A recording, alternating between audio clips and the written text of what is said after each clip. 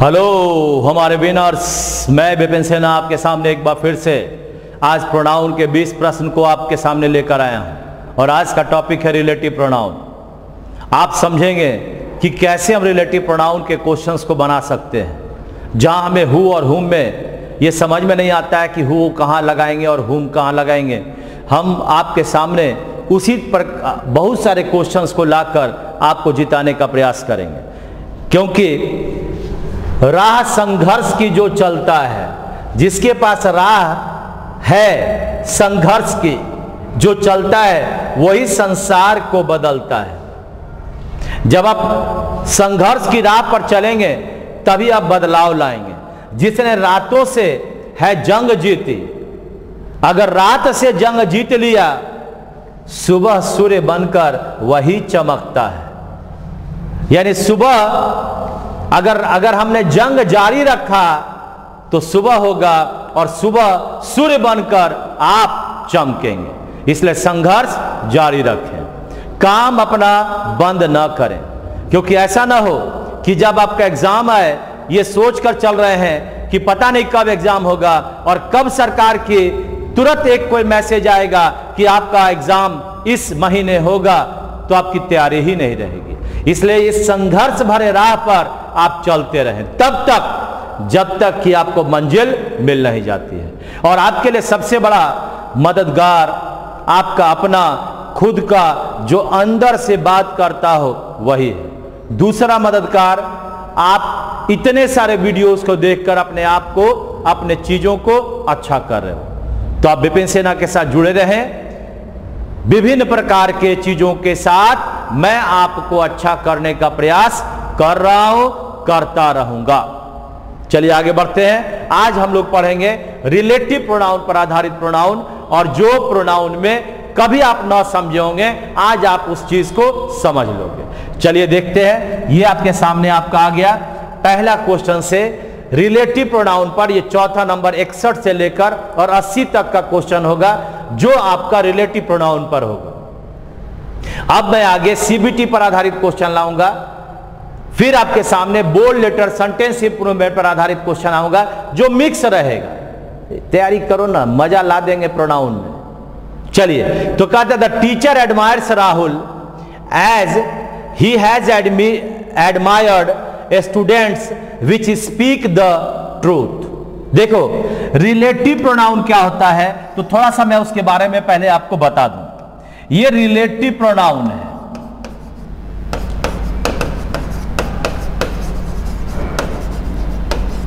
जिसका अपना एक सब्जेक्ट होता है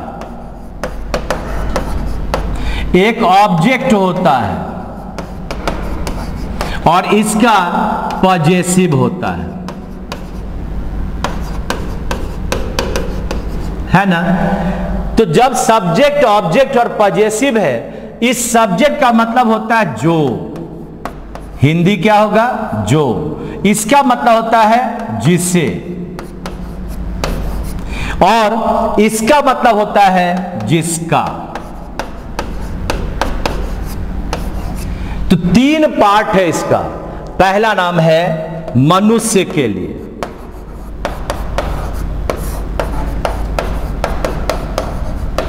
तो मनुष्य के लिए जो वर्ड आता है उसका नाम होता है हु ये हु माने कौन नहीं हुआ हु आर यू कौन हो तुम ये नहीं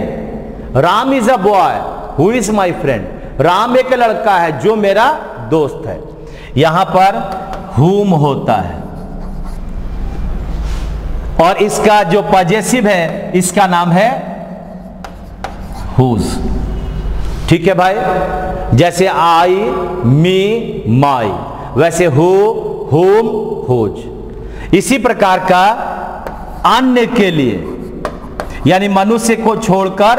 अन्य के लिए यहां पर आता है which Ram has a cow dash gives ten kilo milk अब काउ के लिए क्या लाओगे विच लाओगे यहां पर भी आता है विच यानी दोनों सेम होता है इसमें कोई गलती की संभावना नहीं है यहां पर होता है ऑफ विच यानी हु हुम हुज विच विच और ऑफ विच अब हम कहते हैं तीसरा आपके पास होता है जिसका नाम है दोनों के लिए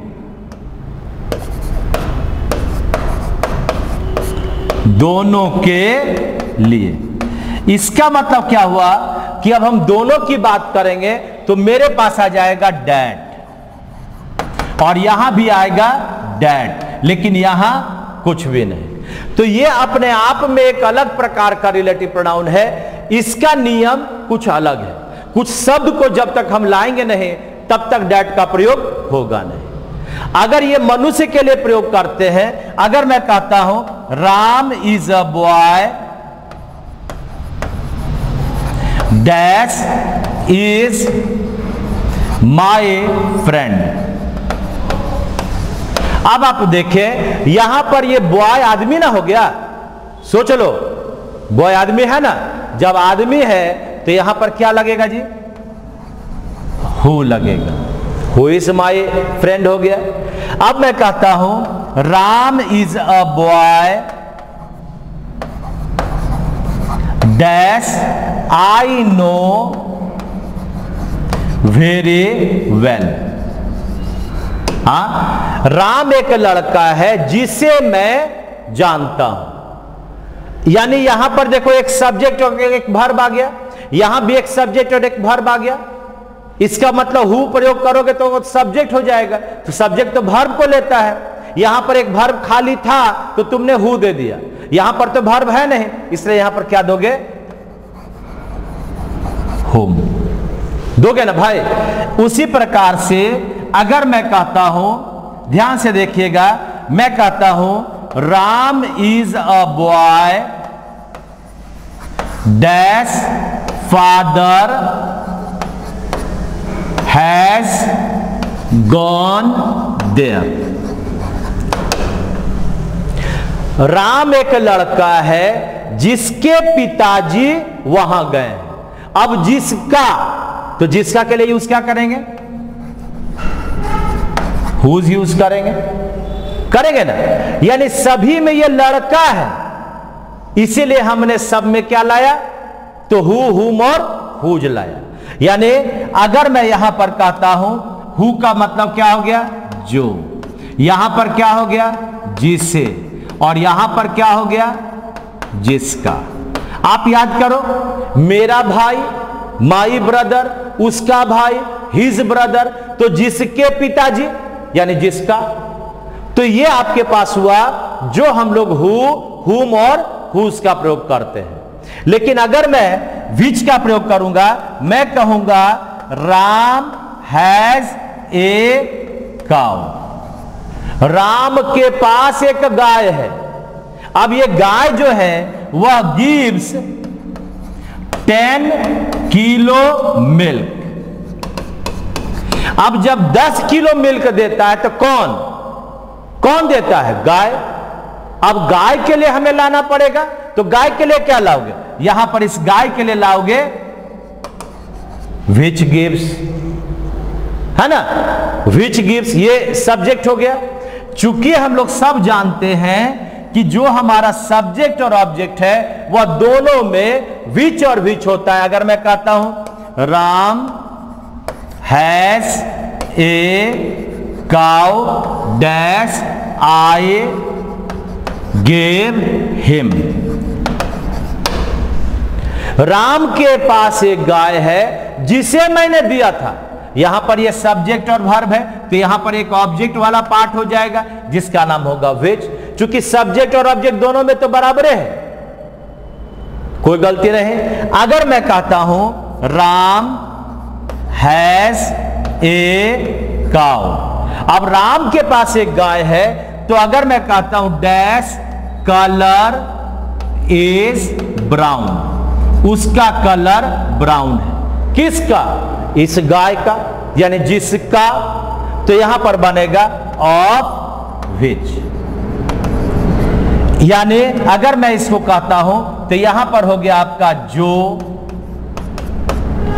जो 10 किलो मिल्क देता है यहां पर कहते हैं जिसे मैंने तुम्हें दिया इसका मतलब हो गया जिसे और यहां पर इसका मतलब हो गया जिसका है ना जिसका कलर ब्राउन है तो ये हु हुम और विच ये सब के बारे में आपको बताया कि हु हुम और हुज ये मनुष्य के लिए आएगा हु हुम और हुज ये मनुष्य के लिए आएगा विच और विच ऑफ विच ये किसी अन्य के लिए आएगा और डैट और डैट के बारे में तो बताया दोनों के लिए आएगा लेकिन कुछ शब्दों के साथ आएगा जिसको हम लोग आगे के रूल में पढ़ेंगे यानी कहने का अर्थ है कि अगर मैं अब इस क्वेश्चन में चलता हूं तो हमें यहां पर देखना है क्या क्या यहां पर संभव हुआ तो अब यहां पर स्टूडेंट्स है और यहां पर आपका विच है तो स्टूडेंट्स के लिए विच आ सकता है नहीं आएगा यहां पर भर्म भी है ये क्या है भर्म है तो ये विच के बदले अब हमें प्रयोग करना पड़ेगा हु क्या बना students who speak the truth students who speak the truth बात समझे एकदम आसान आपको बना दे रहे हैं एक एक क्वेश्चन को आप अगर ढंग से इस चार्ट के द्वारा देखेंगे तो आपका बनेगा चार्ट में आपके पास यहां पर मैंने जो लिखा कि भाई आपके पास अगर रिलेटिव प्रोनाउन है तो सब्जेक्ट में वह जो कहलाएगा ऑब्जेक्ट में वह जिसे कहलाएगा और पजेसिव में वह जिसका के रूप में आएगा मनुष्य के लिए हु हुम और हुज का प्रयोग करेंगे अन्य के लिए विच विच ऑफ विच का प्रयोग करेंगे और अगर दोनों के लिए प्रयोग करना है तो डैट और डैट का प्रयोग करना है तो इस तरह से राम इज अ बॉय में आपने अगर बनाया तो जो मेरा फ्रेंड है जो के लिए तुमने बॉय के कारण हु लगाया राम एक लड़का है जिसे मैं जानता हूं तो बॉय के लिए तुमने जिसे हुम लगाया राम एक लड़का है जिसके पिताजी दिल्ली गए हैं या वहां गए हैं तो जिसका के लिए माई की तरह हिज की तरह हुज लगाया क्योंकि बॉय है लेकिन आगे तुमने देखा कि अगर मेरे पास अगर मेरे पास यहाँ राम है जे काउ है तो गाय के लिए हमें विच लगाना पड़ा जो के लिए यहाँ पर गा, गाय के लिए हमने जिसे लगाया विच और यहाँ पर जिसका के लिए चूंकि गाय था इसलिए जिसका के लिए आप विच लगाया तो ये छोटी सी बात आपको मैंने बता दिया रिलेटिव प्रोनाउन के बारे में अब अगर मैं रिलेटिव प्रोनाउन से रिलेटेड आगे क्वेश्चन करता हूं तो ध्यान से देखिएगा अब ये सेकेंड नंबर क्वेश्चन है आप देखें क्या बनेगा जरा एक बार अपना पहले दिमाग लगाओ बासठ नंबर है the foreign investment promotion board is the government body who regulates investment received by Indian factories from foreign countries. कहता है कि foreign investment promotion board board क्या हो गया जी एक संस्था हो गया is the government body government body का मतलब क्या हो गया ये गवर्नमेंट बॉडी का मतलब क्या हो गया संस्कार सरकारी संस्था क्या हो गया गवर्नमेंट बॉडी इसका मतलब हो गया सरकारी संस्था और संस्था के लिए तुमने यहां क्या ले आया हु ले आया ये संस्था के लिए कहीं से हु आएगा नहीं आएगा जब ये संस्था हो गया तो हु कैसे आएगा आदमी के लिए ना आएगा इसलिए हमें यहां पर यूज करना पड़ेगा विच क्या यूज करोगे government body which regulates investment यानी यहां पर हु के बदले यहां पर बनेगा विच दो नंबर ठीक है ना एकदम ध्यान से देखिएगा हु होम हुज ये तीनों मनुष्य के लिए विच विच ऑफ विच ये तीनों अन्य के लिए चाहे वह जानवर हो संस्था हो किसी के लिए हो सकता है तो आगे बढ़े क्वेश्चन नंबर तिरसठ आइए देखिए बोलो भाई अरे उत्तर मिलना चाहिए फास्ट एकदम the horse who won the race has been remove from the stable अस्तबल से उसको हटा दिया गया अरे हटा दिया गया किसको हॉर्स को और जब हॉर्स को हटाया तो हॉर्स के साथ तुमने हु दे दिया कहीं हॉर्स अपने साथ हु को लेगा हॉर्स कोई व्यक्ति है इसलिए यहां पर लगेगा विच यानी उत्तर नंबर एक होगा कितना नंबर उत्तर होगा एक नंबर क्लियर बढ़ जाए आगे आगे है आइए देखो जी ऑन दिसंबर दो 1927 द मॉडल ए फोर्ड गाड़ी का नाम हुआ हु कॉस्ट तीन सौ पचासी डॉलर वाज इंट्रोड्यूस्ड 1927 में एक कार जिसका कीमत तीन सौ पचासी डॉलर था उसे लाया गया क्या बोलता है a model a Ford Ford क्या हो गया गाड़ी का नाम अब है हु कॉस्ट जिसकी कीमत थी कॉस्ट कॉस्ट कॉस्ट होता है या भी टू है अब यहां पर क्या होता है गाड़ी का नाम है जिसका कीमत हाँ? यानी यहां पर ये गलत हो गया और यहां पर बनेगा क्या भाई यहां पर बनेगा फोर्ड ऑफ वेट कॉस्ट जो भी था डॉलर तीन सौ पचासी यानी फोर्ड जिसकी कीमत तीन सौ पचासी डॉलर था कीमत था यानी तुमने क्या लगाया तुमने क्या लगाया ऑफ विच क्या लगाया ऑफ विच यानी जब ऑफ विच लगाया तो ये हु आपका गलत है अब यहां पर अगर मैं इस क्वेश्चन को बनाता हूं तो मेरे पास यहां पर उत्तर ये हु के बदले बनेगा ऑफ विच कई नंबर उत्तर तीन नंबर कितना तीन नंबर क्या बात है भाई खाली विच नहीं कर देना जिसकी कीमत है तो कीमत किसकी फोर्ड गाड़ी की तो की कीमत ऑफ विच यूज करना विच नहीं यूज करना ऑफ विच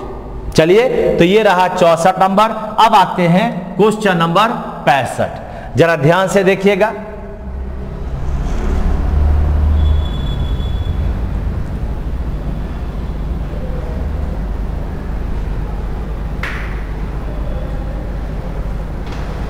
बोलो द कैंडिडेट जैसे कोई चुनाव लड़ता है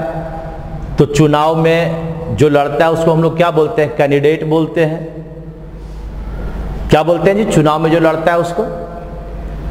जो चुनाव में लड़ता है नेता उसको क्या बोलते हैं हमारा वह प्रत्याशी है है ना कैंडिडेट क्या मांग रहा है डोनेशन मांग रहा है यानी अपील किया मांगा क्या डोनेशंस यानी दान मांगा फ्रॉम यंगर वोटर्स किससे मांगा मतदाता से who will be use use का मतलब क्या हुआ प्रयोग किया जाएगा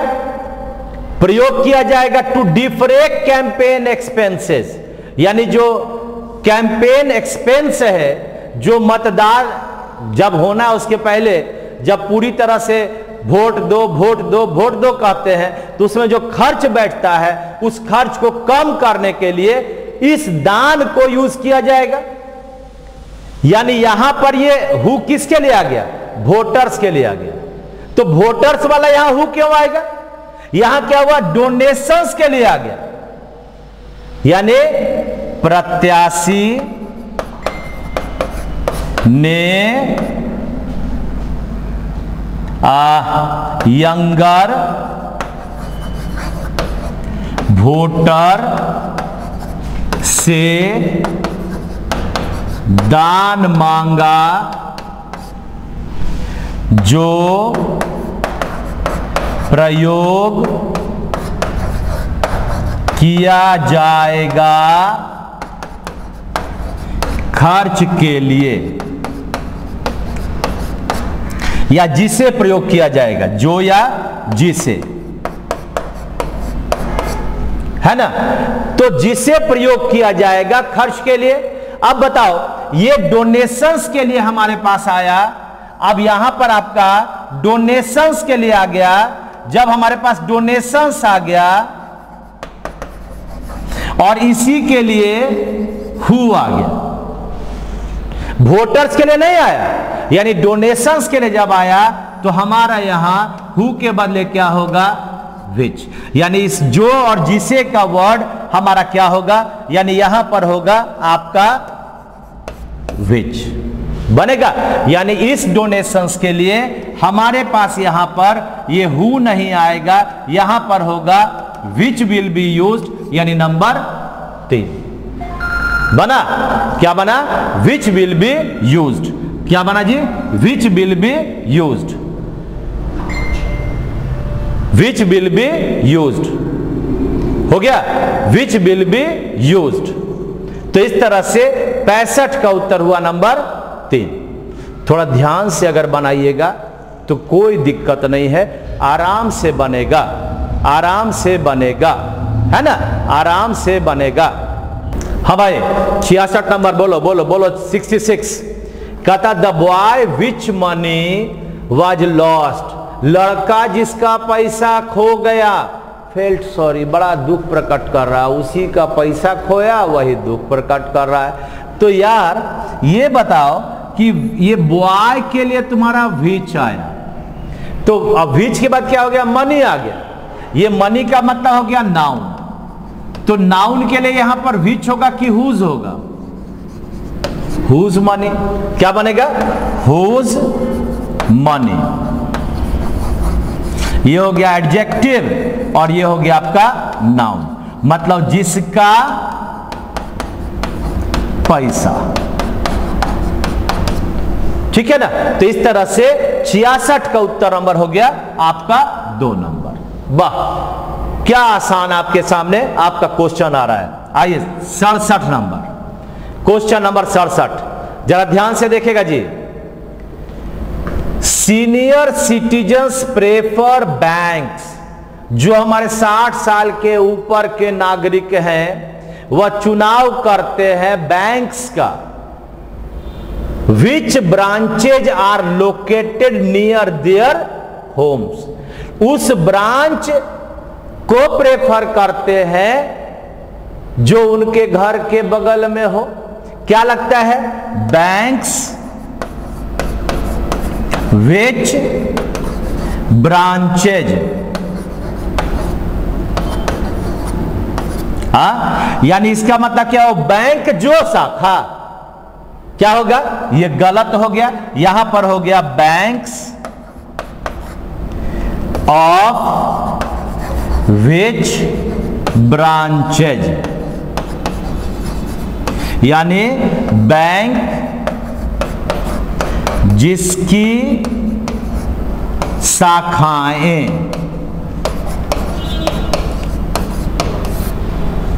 है ना तो जिसका जिसकी के लिए क्या प्रयोग करते हैं हम लोग ऑफ विच यूज करते हैं तो इस तरह से यहां पर आपका ये विच जो है इस विच के बदले बन जाएगा ऑफ विच और चूंकि ये आदमी नहीं है नहीं तो हुज लगा देते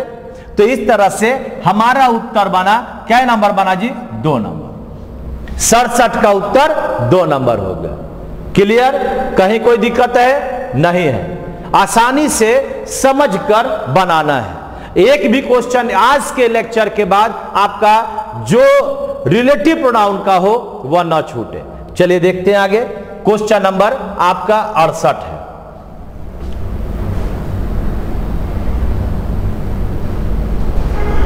देखो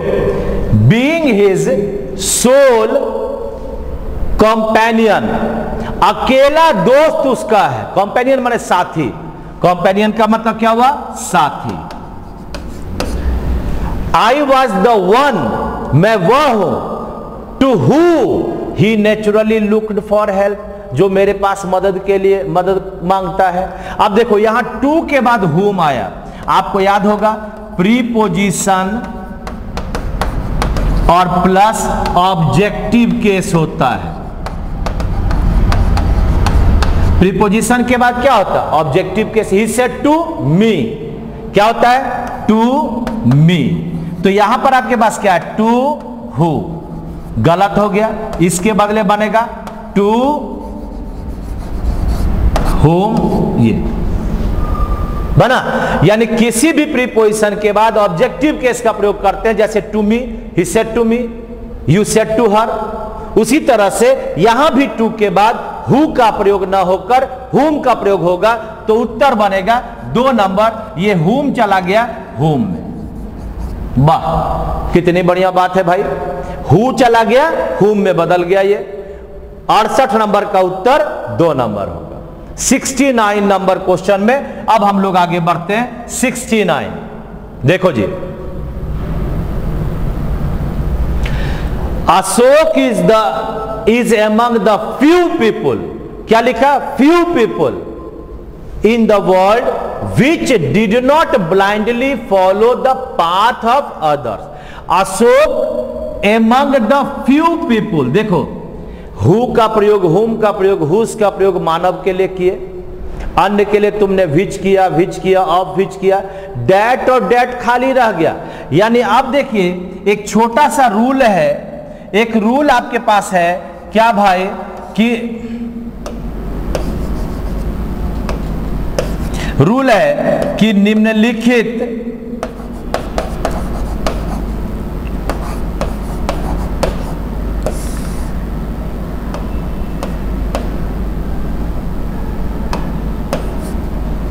शब्द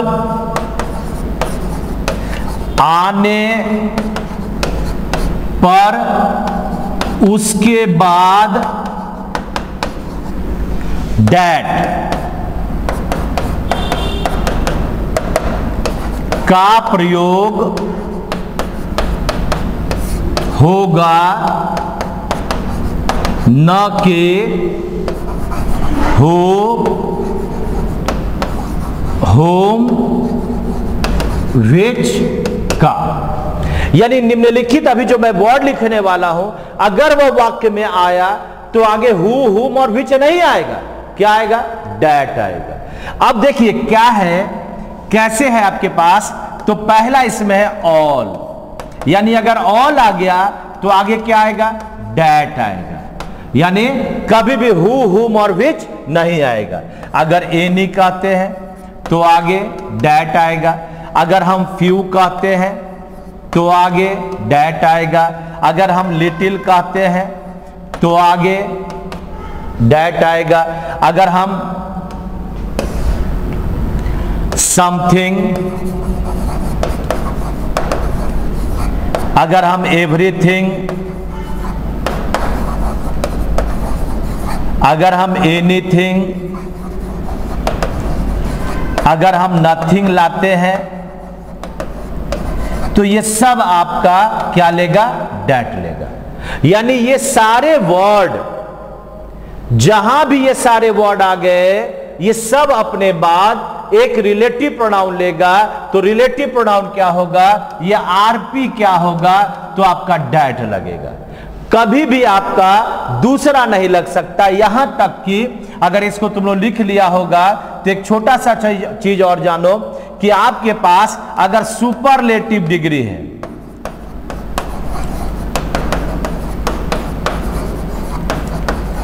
जैसे आपका द बेस्ट है ईटीसी e है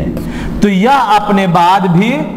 डैट को लेता है यह कभी अपने बाद हु हुम विच को नहीं होगा अगर मैं कहता हूं देखिएगा कुछ उदाहरण देखिएगा अगर मैं कहता हूं all which glitters is not gold अगर तुम लोग कहता है कि वह जो चमकता है हर चमकता हुआ चीज सोना नहीं होता तो यहां पर ग्लिटर का मतलब चमकता है तो यहां पर आप देखिए ये ऑल के कारण अब विच नहीं होगा बल्कि यहां पर होगा डैट कहावत भी है all that glitters is not gold अगर मैं कहता हूं अगर मैं कहता हूं he has he has everything which gives him happiness अगर हम ऐसा बोलते हैं तो यहां पर ये विच एवरीथिंग के कारण ये विच ना होकर क्या बनेगा तो ये डैट बनेगा अगर मैं कहता हूं सपोज करो मेरे पास आता है कि Gita is the most beautiful girl gita is the most beautiful girl whom i want to marry Gita सबसे सुंदर लड़की है जिससे मैं शादी करना चाहता हूं तो यहां पर मोस्ट ब्यूटीफुल गर्ल ये आपका एस डी हो गया यानी ये आपका एस डी हो गया रेटिव डिग्री हो गया तो ये हुम के बदले क्या होगा तो यहां पर डैट आएगा हाँ, यानी मोस्ट ब्यूटीफुल गर्ल आ गया ये एस डी हो गया इसलिए यहां पर डैट हो गया तो जब हमारे अपने क्वेश्चन में अपने क्वेश्चन में अगर मैं यहां पर देखता हूं अपने क्वेश्चन में कि हमारे पास यहां पर फ्यू आ गया तो इस फ्यू के कारण इस फ्यू के कारण हमारा यहां पर विच न होकर डैट होगा जब डैट होगा तो उत्तर नंबर तीन क्या बना फ्यू के बाद जो विच आया ये फ्यू हो गया और आगे आपका विच आ गया ये विच खत्म हो गया और यहां पर लग गया डेट हो गया बात समझ में आया ये रिलेटिव प्रोनाउन का पार्ट था जिसमें कुछ ऐसे पार्ट थे जो डैट को लेते हैं हु हुम और विच को नहीं लेते हैं आप इसको चाहोगे तो आप वीडियो जब खत्म हो जाए तो बढ़िया से इसको आकलन करना कभी आपका क्वेश्चन गलत नहीं होगा चलिए आगे बढ़ते हैं क्वेश्चन नंबर सत्तर देखो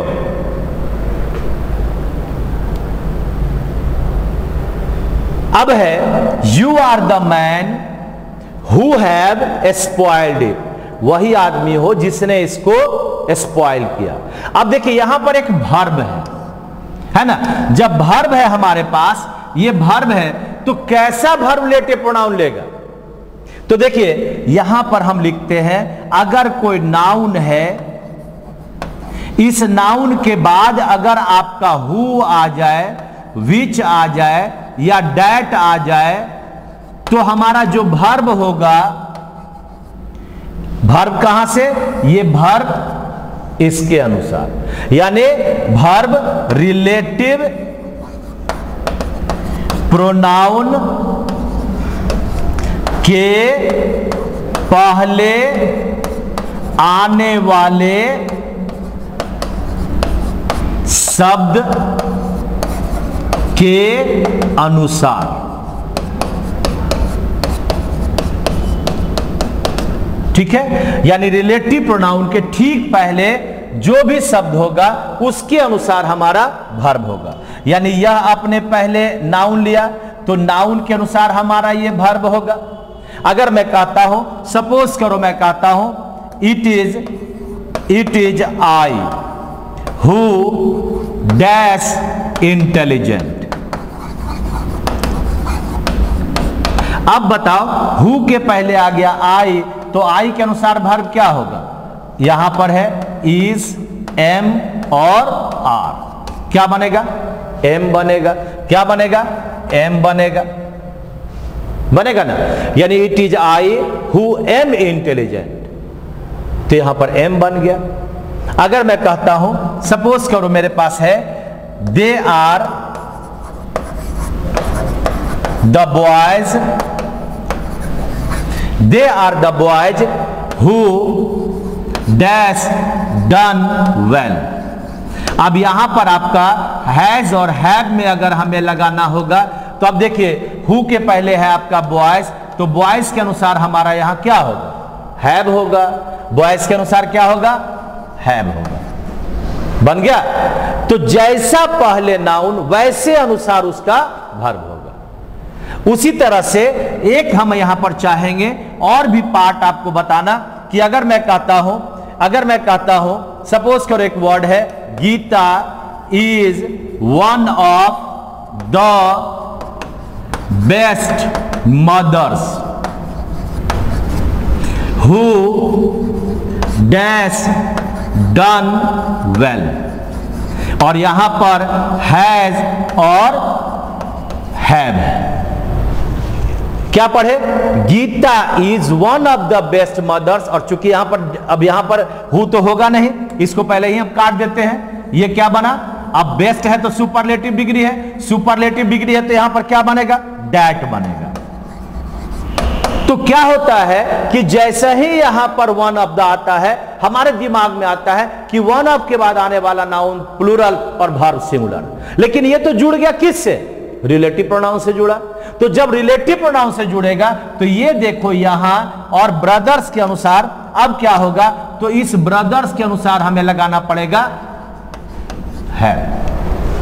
जायकेदार है थोड़ा ध्यान से देखना जैसा पहले आपका रहेगा नाउन उसके अनुसार उसका भर्व होगा ठीक है बात समझ में आ गया तो जब हम लोग यहां पर इस क्वेश्चन में अगर हम लोग लगाते हैं देखिए क्या है आपका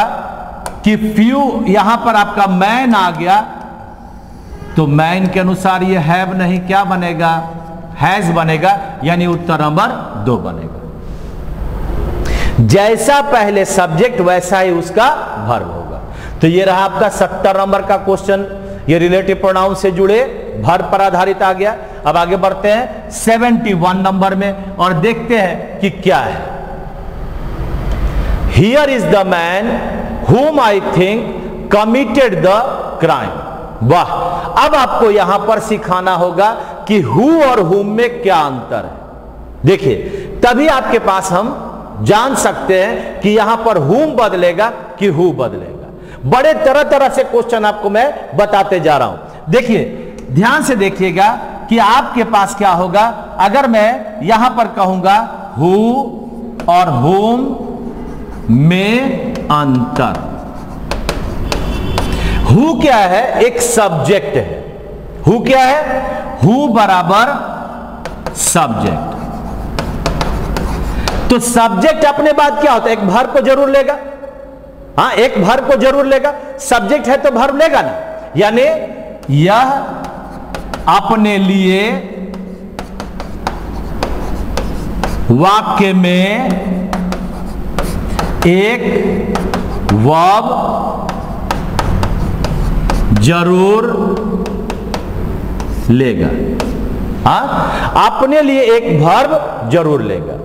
लेकिन होम क्या है होम बराबर ऑब्जेक्ट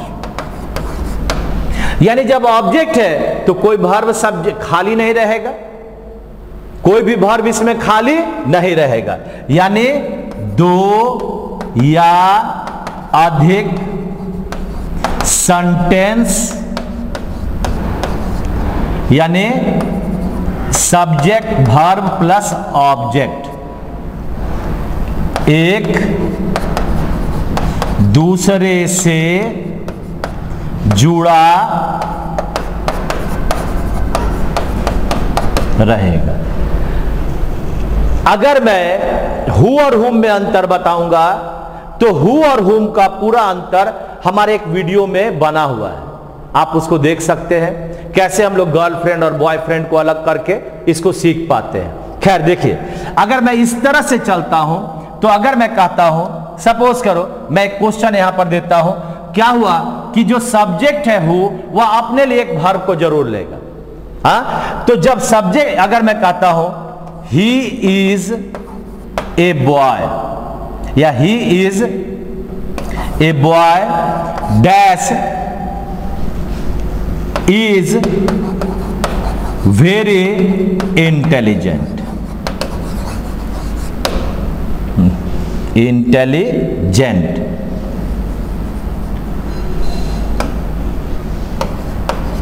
है ना जब ये हमने कहा तो देखो ये सब्जेक्ट वन हो गया ये भर्ब वन हो गया यहां पर ये तो ऑब्जेक्ट हो गया ए बॉय क्या हो गया ये ऑब्जेक्ट हो गया यहां पर ये क्या हो गया एक भर्व नंबर दो हो गया यानी अब हमारे पास भर्व कितना है भर्व की संख्या कितना यानी भर्व की संख्या कितना है भर्व है दो और सब्जेक्ट कितना है जी एक ये सब्जेक्ट एक हो गया यानी जब सब्जेक्ट एक है और भर्व हमारा दो है तो अब हम उस भर्व के लिए क्या लगाओगे क्या लगाओगे बोलो यानी यहां पर हमने क्या लगाया अब यहां पर हम लोग लगाएंगे हु एज अ सब्जेक्ट लगाए जब हमारा सब्जेक्ट और भर्ब एक दूसरे से जुड़ जाएगा तभी ना सेंटेंस होगा अगर मैं कहता हूं एक छोटा सा और उदाहरण में देता हूं अगर मैं कहता हूं Ram dash I know very well is intelligent हाँ अब देखिए अब Ram I know very well is intelligent अगर हम ऐसा कहते हैं तो राम सब्जेक्ट वन हो गया आई सब्जेक्ट नंबर दो हो गया नो भर्व नंबर एक हो गया और यहां इज क्या हो गया भर्व नंबर भर्व नंबर दो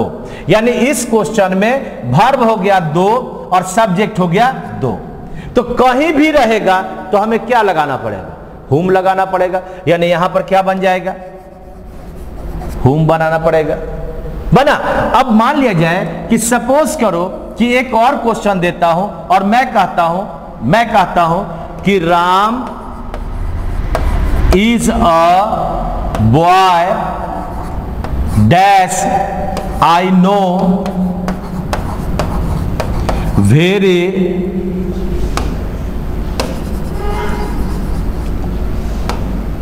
very well is intelligent अब पहले भर्व खोजिए कितना भर्व हुआ देखो एक भर्व भी वन इसका सब्जेक्ट एस वन एक भर्व भी टू इसका सब्जेक्ट एस टू एक भर्व आपका भर्व नंबर तीन यानी अगर इस प्रश्न में हम देखेंगे भर्व की संख्या तो भर्व हमारे पास है तीन और सब्जेक्ट क्या है सब्जेक्ट कितना है जी एक और दो तो अब इसका मतलब हमें क्या लगाना है यह नहीं सोचना है कि तत्काल बाद एक सेंटेंस आ गया उसके लिए उस सेंटेंस में एक भर्व आना चाहिए यानी अब यहां पर इस खाली है तो इस खाली के लिए हम लोग यहां पर लाएंगे हु जो बना हु इज इंटेलिजेंट जितना भर्व उतना सब्जेक्ट तो हुम लगाएंगे अगर भर्व की संख्या ज्यादा सब्जेक्ट की संख्या कम तो हु लगाएंगे याद रखना गुरुजी है ना यानी अगर हमारे पास भर्व और क्या बोले एक छोटा सा अगर मैं रूल कहता हूं तो सिंपल आपके अब क्वेश्चन में जाकर और मैं बताता हूं कि भर्व बराबर सब्जेक्ट तो ये बनेगा होम लेकिन भर्व ज्यादा सब्जेक्ट कम तो लगेगा हो कभी भी सब्जेक्ट की संख्या ज्यादा नहीं हो सकता ये ध्यान देना यानी जब भर्ब बराबर सब्जेक्ट है अब देखो हियर इज द मैन एक भर्ब एक सब्जेक्ट यहां पर यह सब्जेक्ट है लेकिन मैं इसको मानता हूं है ना हुम आई थिंक सब्जेक्ट ये हो गया ये भर्ब हो गया हा? अब तीसरा आपका कमिटेड भर्ब है ये तीन ये एक ये दो तो सब्जेक्ट हो गया एक सब्जेक्ट हो गया दो जब आपके पास भर्व तीन है और सब्जेक्ट कितना है जी दो है तो अब तीसरा भर्व के लिए क्या लाओगे सब्जेक्ट लाओगे और सब्जेक्ट में अब इस हुम के बदले क्या बनेगा हु बनेगा यानी जितना भर्व उतना सब्जेक्ट तो हुम अगर भर्व की संख्या ज्यादा और सब्जेक्ट की संख्या कम तो क्या लगेगा हु लगेगा है ना तो इस तरह से हमारा इकहत्तर का नंबर उत्तर होगा दो नंबर चले आगे बहत्तर नंबर क्वेश्चन में चलते हैं आइए this is the old man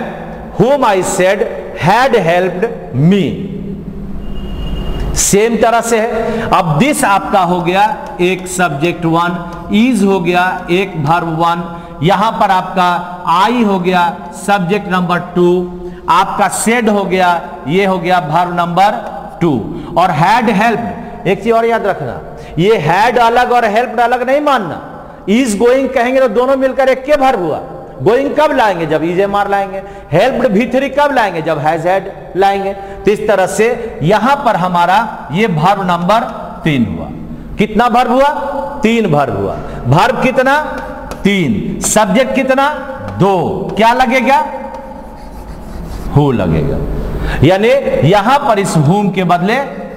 who आएगा हमने इस क्लास को रिलेटिव प्रोनाउन के अंतर्गत ही रखा आपके पास एक वीडियो बना हुआ है अगर आप प्लेलिस्ट में जाओगे तो आपके पास हु और होम में छोटे छोटे वीडियो में बना हुआ है जरूर देखना कमाल हो जाएगा आपके दिमाग में बैठ जाएगा अब यहां पर इस क्वेश्चन का उत्तर बन गया दो नंबर गिनती करो भर्व और सब्जेक्ट की और निकाल लो अपना जो उत्तर है सो आइए आगे बढ़ते हैं तिहत्तर नंबर चलो the prize was given to the girls whom they said stood first कहता है द प्राइज वॉज गिवेन ये हो गया एस वन ये दोनों मिलकर हो गया भर्म नंबर एक ये पैसिव सेंस है इसलिए वॉज गिवेन है अब यहां पर देखो ये हो गया भर्म नंबर दो ये हो गया सब्जेक्ट नंबर दो अब एक स्टूड आपके पास यहां पर भर्म नंबर तीन है यानी एक स्टूड आपका खाली रह गया जब ये खाली है भर तो अब हम उसको सब्जेक्ट के साथ जोड़ेंगे कि ऑब्जेक्ट के साथ जोड़ेंगे क्या से जोड़ेंगे यानी अगर हम यहां पर हुम कहते हैं और यहां पर आपका स्टूड कहते हैं तो ये क्या लेगा भर ना लेगा जी यहां पर हु होगा यानी यहां पर क्या हो गया भर की संख्या तीन सब्जेक्ट की संख्या दो क्या लगेगा हु लगेगा हाँ इसलिए इसलिए यहां पर ये हुम के बदले बन गया हु उत्तर नंबर तीन होगा बन गया यानी तिहत्तर नंबर का उत्तर तीन हुआ यहां पर हमारे पास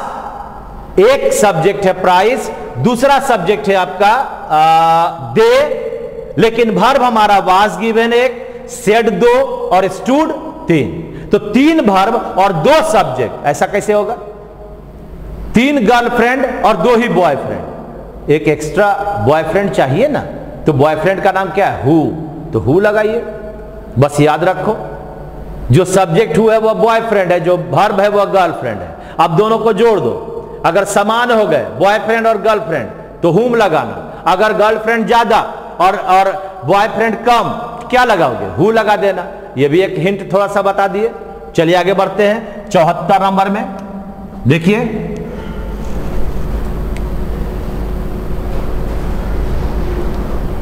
a person whose wishes to avail of this facility should not have been a loan defaulter in the past देखो ये हो गया आपका वर्म तो भर्म आपने पहले माई गोइंग कहते हो कि आई एम गोइंग कहते हो तो इसलिए यहां पर एक सब्जेक्ट आएगा यहां होगा हु विशेष तभी ना आपके पास आ गया टू अवेल बोलो माई एम गोइंग ऐसा बनेगा नहीं बनेगा क्या बनेगा आई एम गोइंग तो विशेष क्या है वी फाइव यह क्या है वी फाइव जब वी फाइव है तो यह आपका हु विशेष होगा हु विशेष होगा यानी उत्तर नंबर होगा एक नंबर बड़े इंटरेस्टिंग चीज है रिलेटिव प्रोनाउन पूरा का पूरा आज मैंने आपका 20 क्वेश्चन रिलेटिव प्रोनाउन पर ही रखा है कितना भूलोगे तुम भी देखो और कितना तुम्हें नहीं बता पाता हूं यह मैं भी देखता हूं आइए देखिए गिनती करो सब्जेक्ट और भर्व सब्जेक्ट और भर्व की गिनती करो क्या क्या होगा अब यह मत समझना कि जहां पर आ जाएगा हु वहां हुम बदल देंगे और जहां आपके पास आ जाएगा हुम वहां हु और हु आ गया तो हु ऐसा नहीं सोचना सब चीजों को जोड़कर बनाना दिस इज द बॉय तो दिस का भर्व कौन सा हुआ इज हो गया ये बॉयफ्रेंड ये गर्लफ्रेंड ये सब्जेक्ट वन ये भर्व वन द बॉय तो आपका ऑब्जेक्ट हुआ हु आई थिंक आई हो गया आपका सब्जेक्ट नंबर दो थिंक हो गया भर्व नंबर दो अब तीसरा हैड और वोन है यानी ये भर्व नंबर तीन यानी कहने का अर्थ है भर्व तीन हो गया और सब्जेक्ट दो हो गया तो दो ए, नहीं दो कहां है सब्जेक्ट दो है हाँ इसका मतलब दो बॉयफ्रेंड और तीन गर्लफ्रेंड है तो हमें क्या देना चाहिए बॉयफ्रेंड देना चाहिए तो बॉयफ्रेंड कौन था हु था बॉयफ्रेंड हुए ना है इसका मतलब हमारा ये सब्जेक्ट आपका एक भर्व को लेगा और भर्व यहां पर हु बिल्कुल सही है यही भर्व आपका हैड को लिया इसलिए हमारा उत्तर बन गया नंबर चार हुआ ये ना है जी तो नंबर चार होगा इस तरह से 75 नंबर का उत्तर हो गया दो नंबर कितना नंबर दो नंबर आ सॉरी 75 का नंबर हो गया चार नंबर इसको मिटा दें भाई चलिए तो हमारा उत्तर बन गया ये चार आइए क्वेश्चन नंबर छिहत्तर he is the same ice cream vendor which solid ice cream when we were kids bolo he is the same man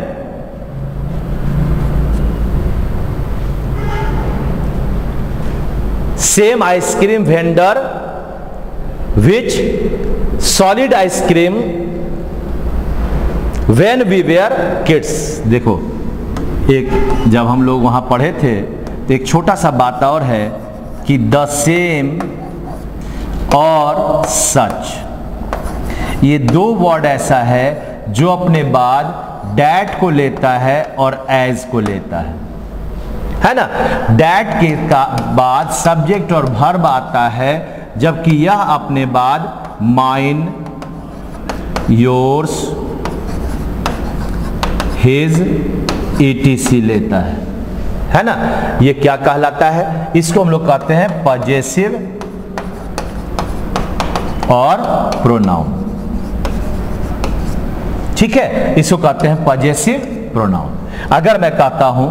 अगर मैं कहता हूं ध्यान से देखना he is the same boy whom I want to meet.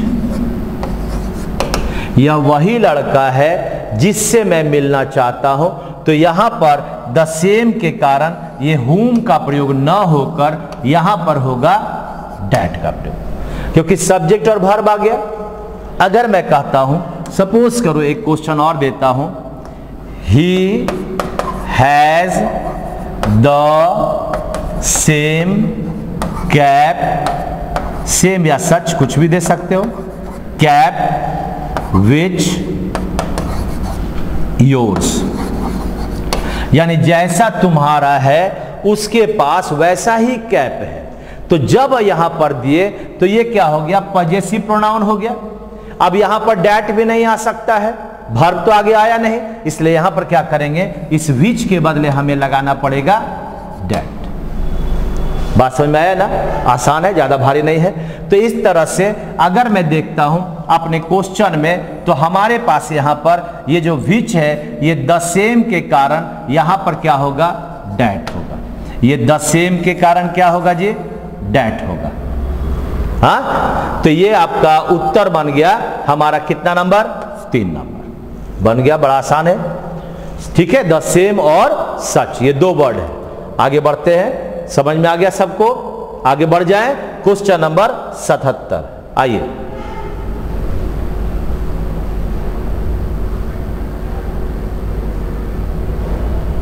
बोलो जी Swati has a fine such a fine memory अब यहां पर आ गया सच ठीक है डैट सी कैन रिकलेक्ट तो सच के कारण यहां डैट भी सही है सही है ना रिकलेक्ट एनीथिंग व्हाट हैपेन याद करो एनीथिंग समथिंग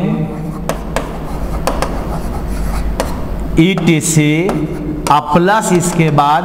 डैट आता था न कि हु हुम वाट सी यानी जब भी हम यहां पर एनीथिंग समथिंग लगाएंगे तो हमें ये वाट ना आकर यहां पर देना पड़ेगा डैट का प्रयोग यानी तीन नंबर क्या देना पड़ेगा एनीथिंग वाट के बदले एनीथिंग डैट देना पड़ेगा और यहां पर हमारा उत्तर बनेगा क्वेश्चन नंबर सतहत्तर का तीन नंबर बड़े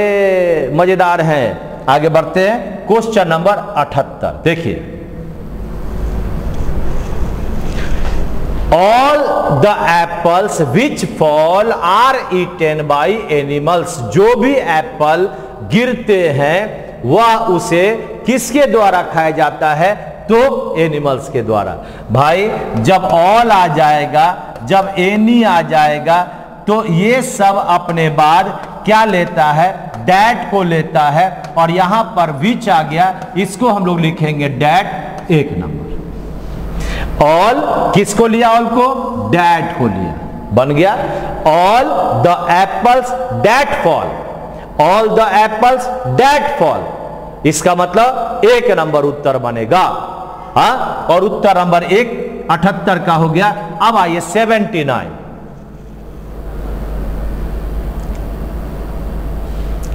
I have read मैंने पढ़ा देखो जी बड़ा बढ़िया है the plays of Shakespeare who are very interesting अच्छा ये बताओ ये रुचिकर इसका नाम क्या हुआ रुचिकर ये रुचिकर कौन है उसके नाटक की शेक्सपियर महोदय नाटक यानी अब हमारा ये जो हु आया वह किसके लिए आया द प्लेज के लिए आया ये प्लेज रुचिकर है तो प्लेज के लिए यहां पर हु आ गया गलत है यहां पर क्या बनेगा विच यानी यह हमारा हु ना बनकर विच होगा ध्यान से देखो हा हो गया यानी अगर मेरे पास यहां ऑफ से जुड़ गया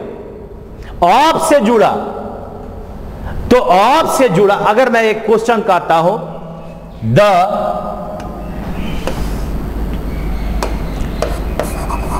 the lecture of Bipin Sinha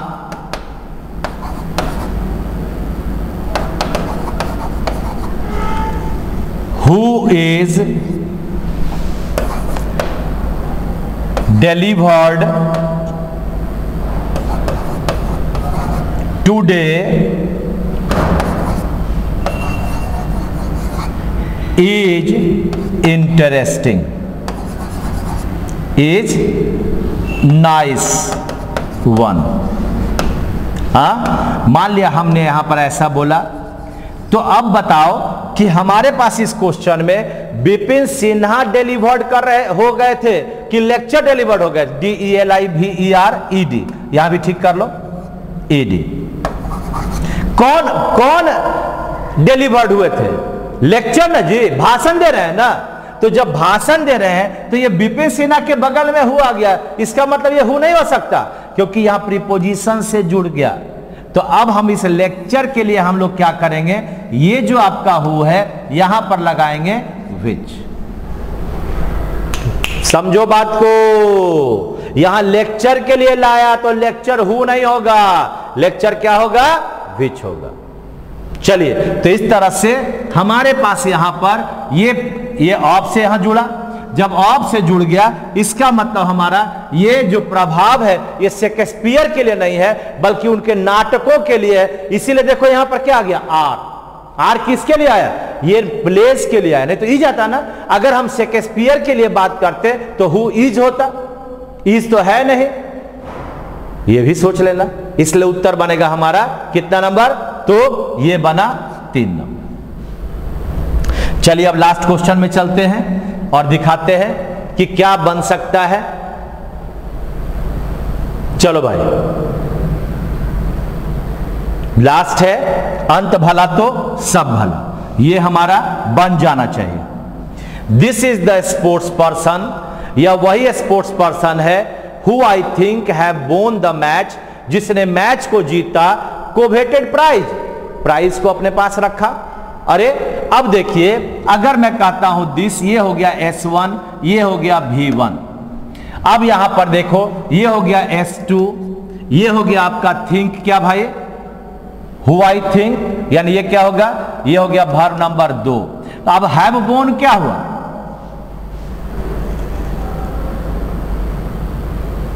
बोलो हैव बोन क्या हुआ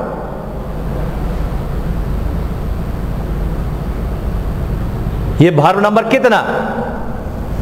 तीन हुआ द मच कोवेटेड प्राइज ये तो कोवेटेड क्या हो गया ये एडजेक्टिव है और ये नाउन है तो अब यहां पर हमारे पास क्या होगा तो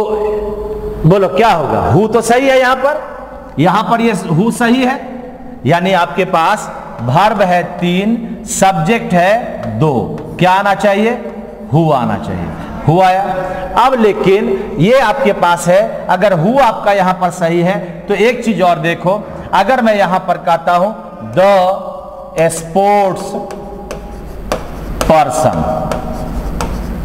है ना हु और हु के बाद आई का भर तो थिंक आया लेकिन अब थिंक के बाद यहां पर आ गया हैव वोन अब हु के पहले पर्सन सिंगुलर तो यह अपने बाद यह हैव न लेकर क्या लेगा हैज लेगा लिया क्या लिया sports person who has won यानी हमारा यहां हैव के बदले क्या होगा हैज होगा इसलिए उत्तर नंबर दो होगा वाह क्या बात है ये कोवेटेड मत समझना ये तो अलग मच कोवेटेड ये देखो डिग्री जैसे हम लोग क्या कहते हैं मच ब्यूटीफुल मोर ब्यूटीफुल और मोस्ट ब्यूटीफुल तो ब्यूटीफुल के पहले मच मोर मोस्ट लगा दिया इसका मतलब क्या हो गया वो एडजेक्टिव का सूचक है यानी ये एडजेक्टिव हो गया ये नाउन हो गया हमारे पास यहां पर हमारे मतलब का चीज क्या था तो भर्व तीन है और सब्जेक्ट दो है भर्व तीन में एक भर्व इज दूसरा भर्व थिंग और तीसरा भर्व है सब्जेक्ट दो था सब्जेक्ट वन दिस और सब्जेक्ट टू आई उस हिसाब से हमें हु आना चाहिए था यहां पर हु है लेकिन हु के पहले स्पोर्ट्स पर्सन है अब इसे स्पोर्ट्स पर्सन है सिंगुलर है इसके लिए भर्व हमें हैव न लाकर हैज लाना बन गया यार कितना शानदार है हमने आज आपको रिलेटिव प्रोनाउन के बारे में पूरी तरह से आपको व्याख्या किया मैं समझता हूं कि इस पर छोटा एक वीडियो बना हुआ है आप पांच दस मिनट का चीज़ है उसे भी देखकर इस चीज़ को बनाने में आपके वो मदद कर सकता है जरूर जाओ वीडियो में और पढ़िए ठीक है तो आज आपके पास हमने रिलेटिव प्रोनाउन का पूरा का पूरा हिस्सा बता दिया अब आपके सामने मैं जो भी प्रश्न लाऊंगा वो सब आपका प्रश्न क्या होगा तो एक साथ अब जितना काइंड है सब पर आपके पास आ जाएगा यानी अब आपका अलग से कोई अलग अलग रूल पर नहीं अलग अलग काइंड पर नहीं बल्कि अब आएगा पूरा का पूरा एक साथ तैयार रहो खूब बढ़िया से बनाओ क्योंकि राह संघर्ष की जो चलता है वही संसार को बदलता है अगर संसार बदलना है तो संघर्ष की राह पर चलना पड़ेगा जिसने रातों से है जंग जीती जो जंग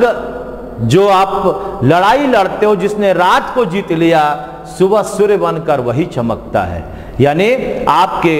जो संघर्ष है उस संघर्ष में कितनी बाधाएं आएगी लेकिन उन बाधाओं को अगर कोई दूर कर लिया तो सूर्य बनकर वही चमकता है तो बस आप चमको सूर्य की तरह मैं यही कहूँगा आप मस्त रहें आप स्वस्थ रहें और जिंदगी में जो चाहो वह प्राप्त करो थैंक यू वेरी मच धन्यवाद